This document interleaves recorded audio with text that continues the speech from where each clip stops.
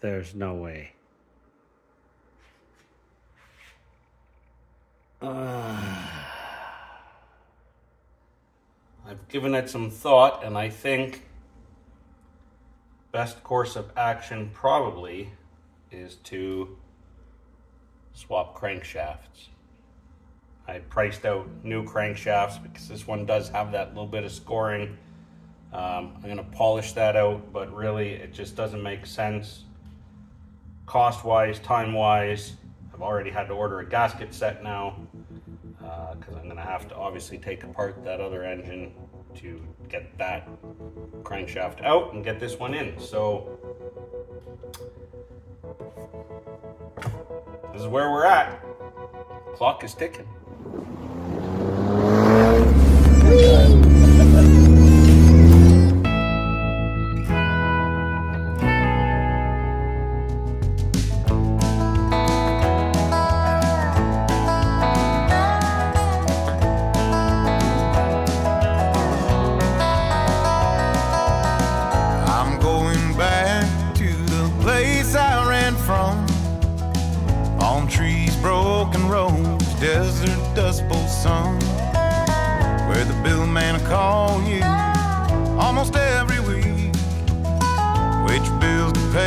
Pay today, what's left in the fridge to eat. Where stars frame the night, born out a train. Just close enough to give hope, but too far to reach. I left there with that hope on fire. That wasn't ideal, but it's out. and there we have our not so lovely crankshaft complete with scoring.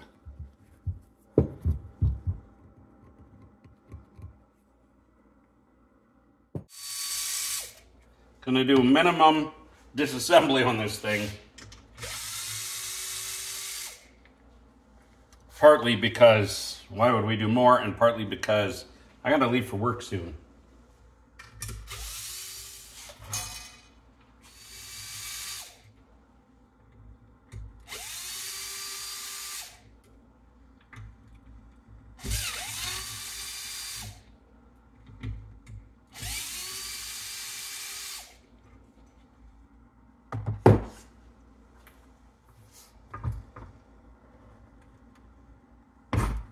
Ah, that one didn't fight too much.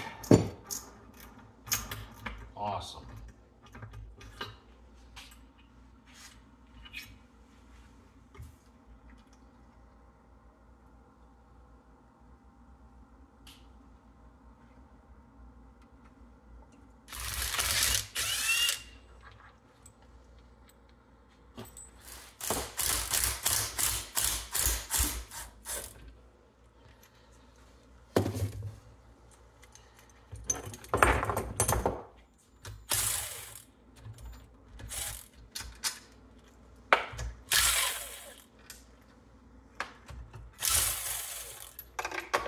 Oh.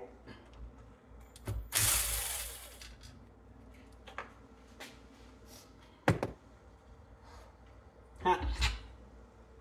Nice.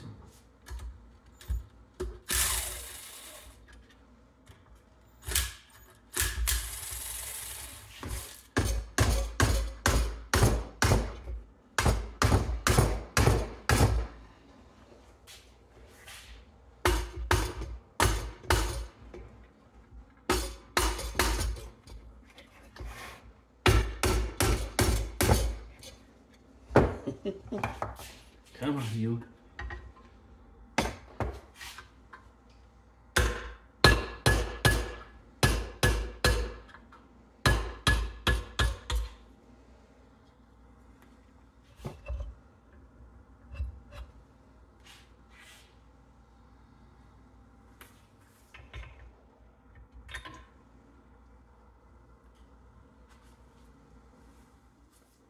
When I took apart the other engine, the locking tabs weren't bent over, and you can see them there. That's how they're supposed to look, bent over so these bolts can't back out. On the other one, they were unbent.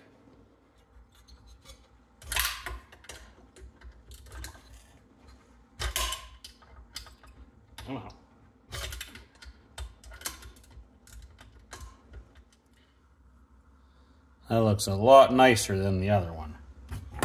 Whoopsie. Tell I'm in a hurry because I'm just making a big old mess in here.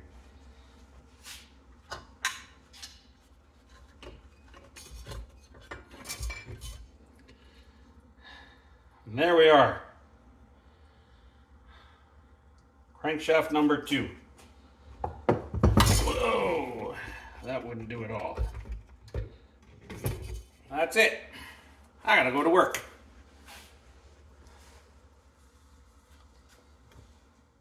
Before I forget how all of this goes back together, I'm gonna keep cracking. Uh, back from work now, but I want to uh, just buff this up a little bit. Obviously, we're not going to, we're not aiming to make these grooves disappear because then we're clearly taking off too much, but we don't want any raised areas either. So I'm just gonna smooth it out using a trick I learned decades ago uh, when I was first an apprentice. And I actually learned this trick from my dad, so um, it's a good one. You might know it, you might not. I use it all the time. So we're just gonna get it in a vise here. Don't have to go too crazy with it. Protect it with a rag so we don't score anything. And somewhere I should have, yeah, just a little bit of emery cloth. This is 180 grit, which is maybe a bit aggressive, but it's what I have. And uh, it's also a bit wide. Gonna cut it down narrower.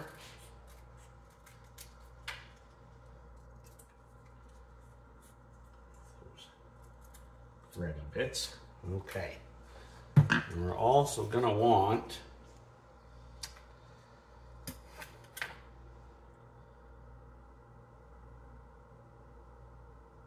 some clean oil out of there. There's not a lot of clean oil, most of it's dirty, but there's a bit of clean oil there. Just a bit. And a bit of rope. can use extra electrical wire, whatever you want. I'm gonna wrap this around here as tight as we can get it.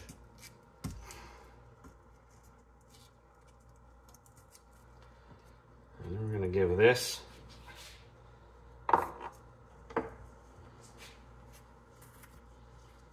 maybe two loops around.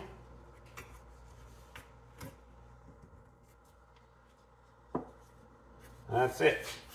We'll just go back and forth.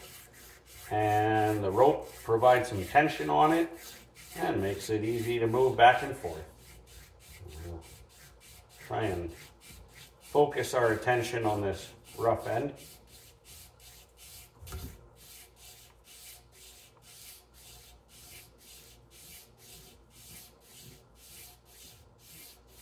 Doesn't take much and we don't want to do much because you say we don't want to end up with a loose rod end. That's so much better. It's still got grooves, but we can probably live with it. The rest of this is actually in really good shape. I noticed that this base, this is from the Gilson engine originally. It is slightly different than the base that was on this rototiller. They're interchangeable, so I'm going to use the original Allis Chalmers base with the snowblower block. But uh, I can't go a lot farther go a little farther, but not a lot farther until I have my gasket set, which is coming tomorrow. Today. But I can do a little.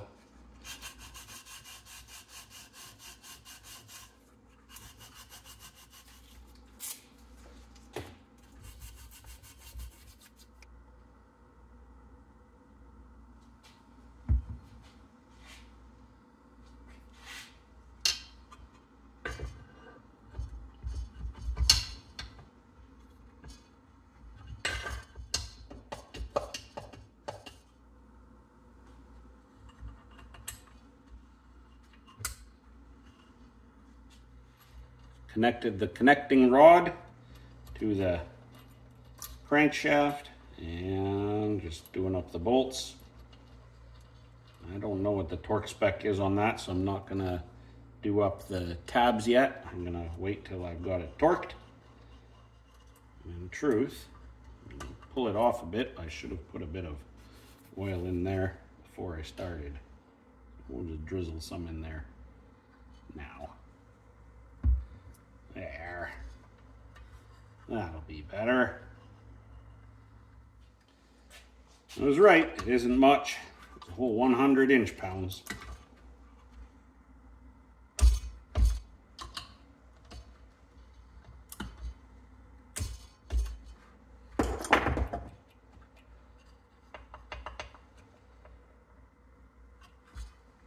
Feels all right. Feels just like it did before. And just fold these tabs over. Yeah. Come on.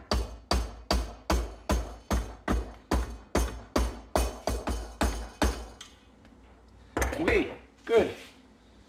Now we're gonna line up our, come on, our crankshaft here.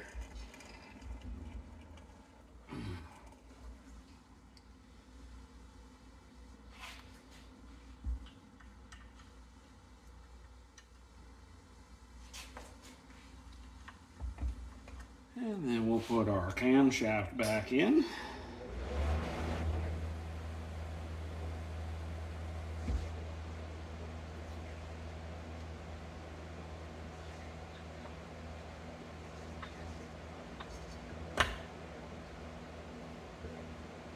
So, oil slinger.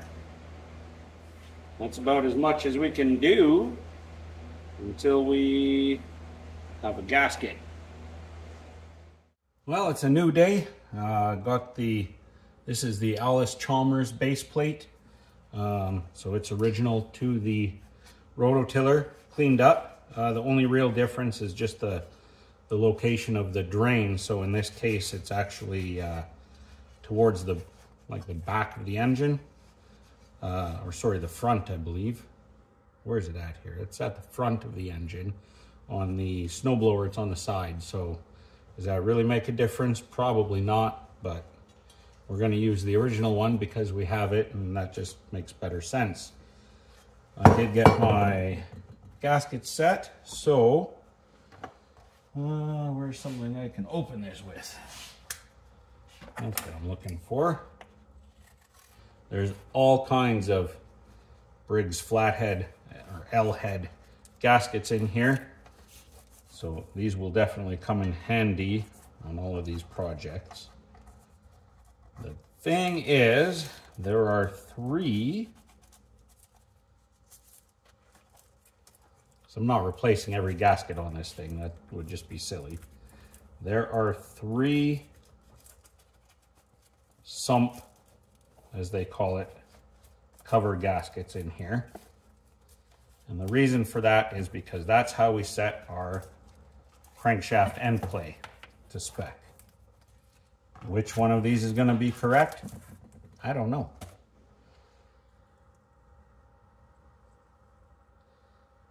I think I'm going to go with the uh, the middleist one as long as we end up in spec. You know, good enough, right?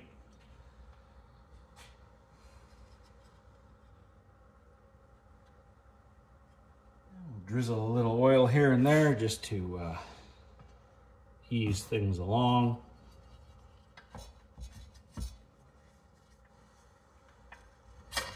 There we go.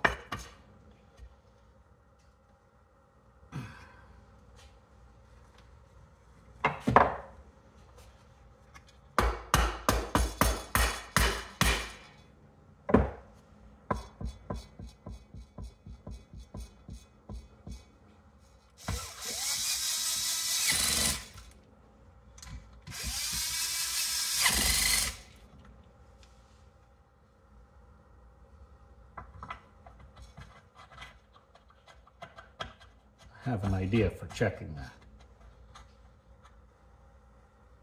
Our end play specs are between 2 and 30 thou. And uh, with 30 thou here, we're we're over. So okay.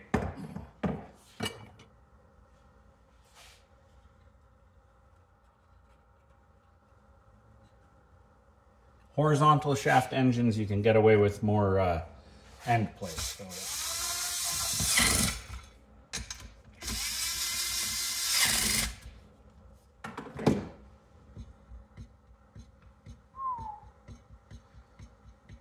All right, I'm. You know what? I'm not even going to measure that. It's better, and uh, I don't have any other options, so we're going to go with it. Why waste time measuring it? And the spec on these is 89 inch pounds.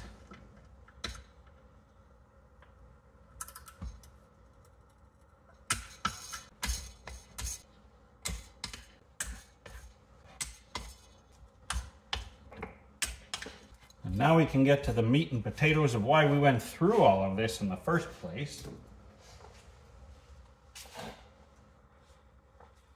The pulley.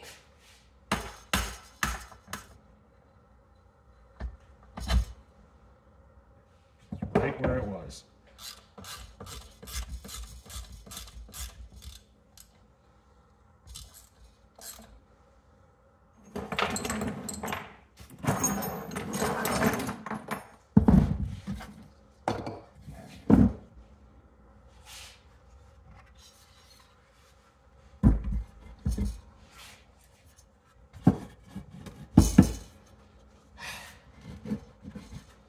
Okay. Well, hasn't this all just been very entertaining? it's been interesting, and I hope you enjoy it too, but I'll be glad when this little project is done. I, I don't know why I took on all of this. Hmm. Where's that key?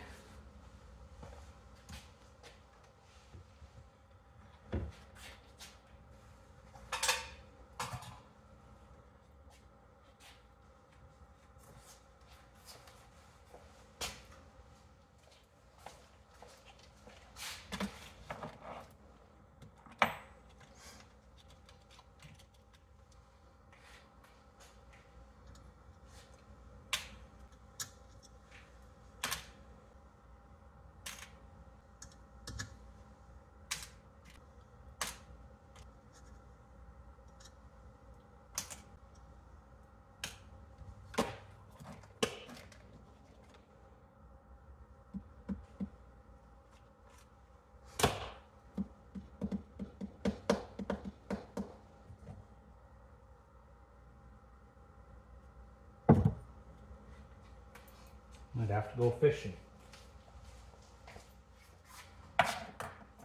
Got lucky.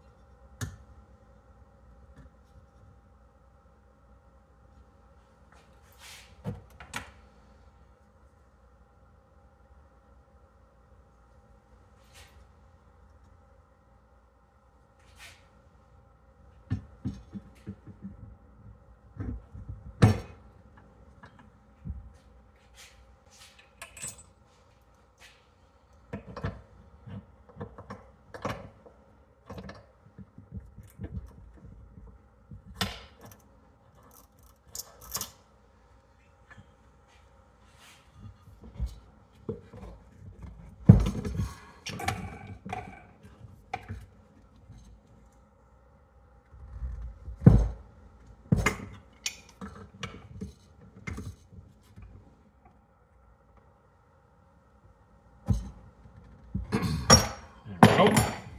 That should do.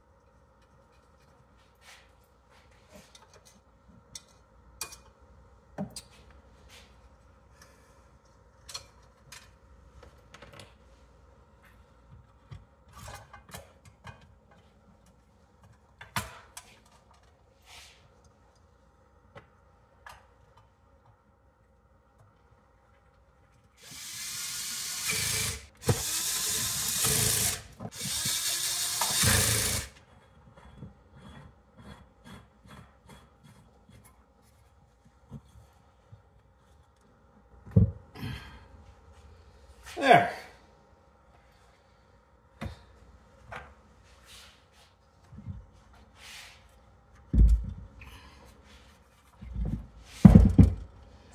Now, what did I say I couldn't forget to do?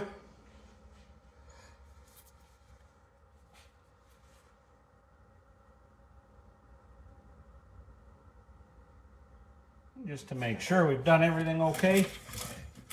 Oh, yeah. That feels good. Right on.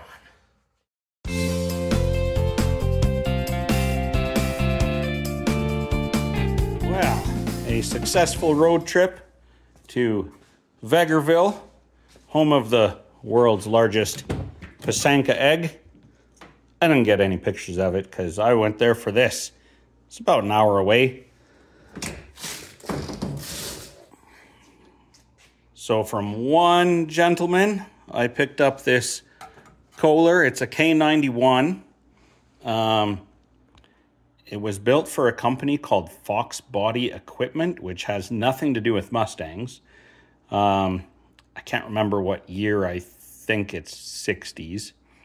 Uh, and then from another gentleman, I purchased this, which is a 75 three horsepower, uh, you know, horizontal shaft. And then he was kind enough to not only subscribe to the channel, but he also hooked me up with this 1986 horizontal shaft. Um, it's actually got a pretty nice clean tank. I suspect I may just use it more for parts. And then also, again, more for parts, but this is a 1964 uh, vertical shaft, but it's got the, if I can get it to come open with one hand, I don't think I can. It's got the uh, crank starter, so that's pretty cool. Um, and then I'm not even sure what this guy does. I can't remember.